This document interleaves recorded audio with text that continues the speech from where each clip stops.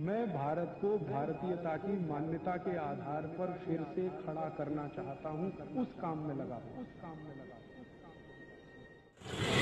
घुटने का दर्द है आपको, घुटने का दर्द, कमर का दर्द है संधिवात है, गठिया है। तो इसके लिए बहुत अच्छी दवा है, सोंठ, हल्दी और मेथी। हल्दी, मेथी, सौंठ, तीनों बराबर मात्रा में लेना।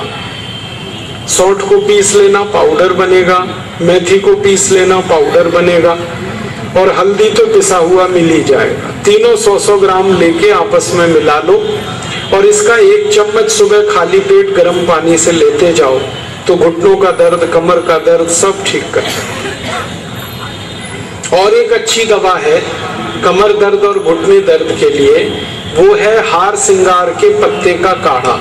हार सिंगार एक पेड़ होता है, उसको संस्कृत में परिजात कहते हैं। हिंदी में हार सिंगार, उड़ीसा वाले उसको गंगा शिवली कहते हैं। उस पेड़ में सफ़ेद छोटे छोटे फूल आते हैं और फूल की डंडी नारंगी रंग की होती है और फूल में खुशबू बहुत होती है और फूल रात को खिलते हैं, सवेरे देखो तो ज़मीन पे पड़े हुए मिलते हैं।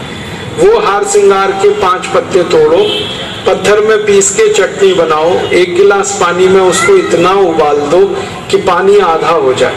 फिर उसको ठंडा करके पियो।